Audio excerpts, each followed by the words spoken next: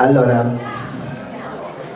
ci abbiamo alla fine, ora eh, seguiranno tre brani di musica d'insieme e poi subito dopo il coro e concludiamo. Prima di concludere volevo fare solo qualche ringraziamento